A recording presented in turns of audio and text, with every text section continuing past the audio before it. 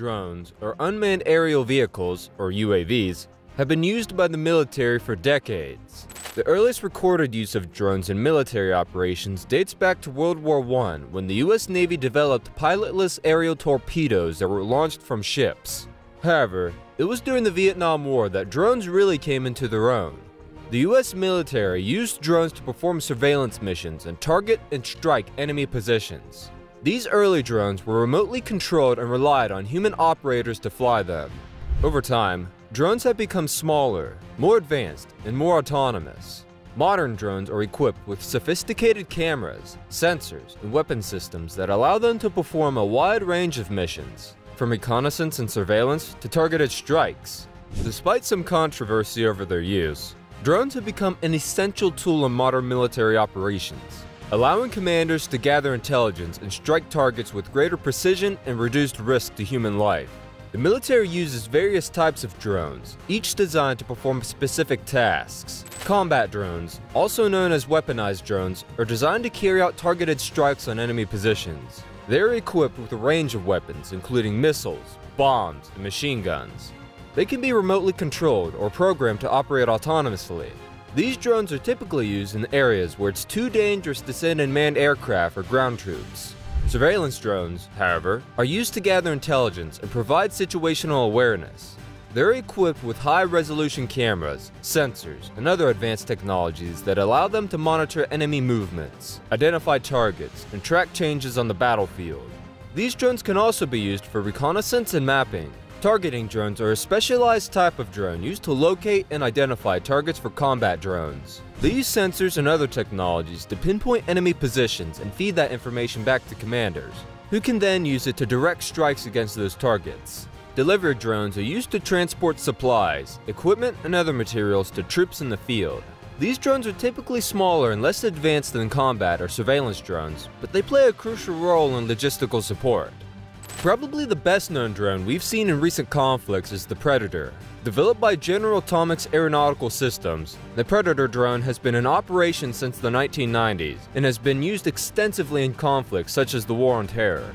One of the key features of the Predator drone is its versatility. It can be equipped with various sensors and cameras, including infrared and low light cameras, to provide real-time intelligence and surveillance. Additionally, the drone can carry up to four Hellfire missiles, allowing it to carry out targeted strikes against enemy positions. The drone has a maximum range of up to 1,150 miles and can stay aloft for up to 24 hours. This makes it well suited for long-duration surveillance and reconnaissance missions. The drone can be flown remotely using satellite communications to send and receive data in real time. This allows for more precise targeting and reduces the risk of harm to human pilots.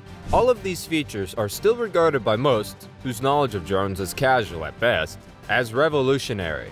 But in reality, the Predator is built on outdated tech and leaves room for plenty of errors. The Predator drones are great for fighting against terrorists and insurgents because they usually don't have planes or air defenses. But they're not so great when fighting against a capable enemy because they are slow and can't move around quickly. In fact, the Air Force once tried to use a Predator to fight an Iraqi MiG-25 and lost the Predator. The tech on these drones is actually pretty rudimentary compared to new advances. Yes, they have a decent range and can carry some weaponry, but they're also slow, loud, and low flying. Thankfully, much better drone technology is poised to replace the outdated Predators. The new Boeing MQ-25 drone will fly autonomously and integrate seamlessly with aircraft carriers. The MQ-25's primary mission is aerial refueling to extend the carrier air wing and strike group's range, operational capabilities, and lethality. Additionally, the MQ-25 will have surveillance capabilities and the possibility of carrying payloads to support operations. This drone, which is on the wish list for dozens of navies, is an example of the multitasking role the next generation of drones can play in combat. There's also the Black Hornet micro drone, a reconnaissance drone that's the size of a dragonfly. The Black Hornet system is designed to be worn by soldiers on foot, a screen flips out from a vest, and two drones and a joystick controller tucked into a small separate pouch. When deployed, the Black Hornet can fly for about 25 minutes to approach enemy positions without being seen or heard. Then transmit video to troops up to 1.2 miles or 2 kilometers away. These drones can also take and send photos and have basic thermal energy tech to help identify enemy positions at night. The Black Hornets have room for improvement. A good gust of wind can throw the tiny vehicles off course, and they can take almost 30 minutes to recharge. But they're a great example of drone technology designed to support and assist in highly unique missions.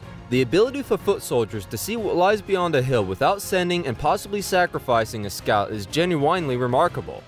But perhaps the most exciting and important development in drone technology within the past few years is the addition of AI. And one of the most promising examples of modern AI drone technology is the family of Pegasus autonomic robotic systems. Robotic Research has developed a family of autonomous robotic systems called Pegasus, which includes transformable unmanned aerial systems, or UAS, and unmanned ground vehicles, or UGV.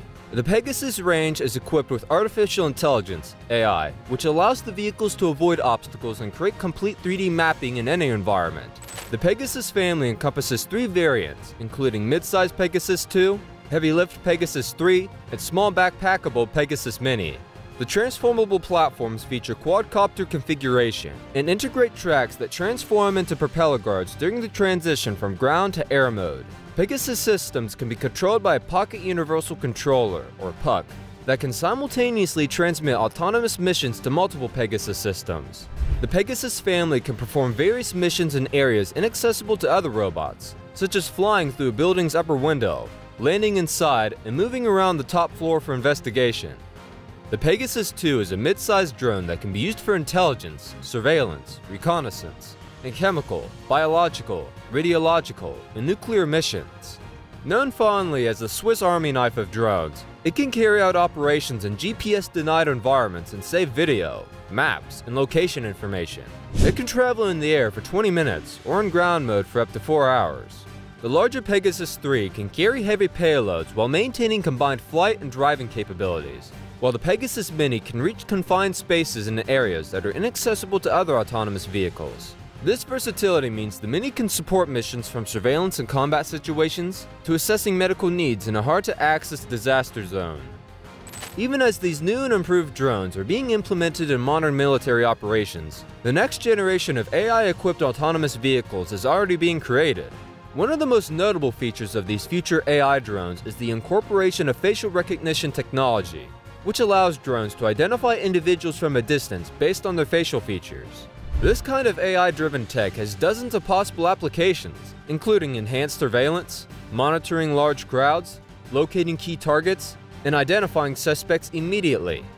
While using facial recognition technology in drones has advantages, it raises concerns about privacy and potential misuse. There are fears that the technology could be used to monitor citizens' movements and activities without their knowledge or consent. Additionally, there are concerns about the accuracy of the technology, particularly when it comes to identifying individuals of certain races or ethnicities. Then there's the question of who is ultimately responsible for a drone's action. If AI facial recognition makes an error that leads to injury or death of an innocent person, who is to blame? Let us know your thoughts about this in the comments below.